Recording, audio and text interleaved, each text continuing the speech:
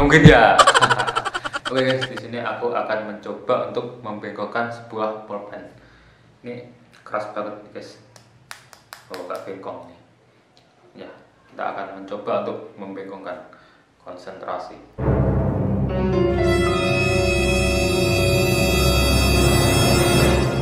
Nah, tambah bengkok kan? Nah, udah lurus lagi. Gampang bukan? Abang jago. Sorry bang jago. Ampun bang jago.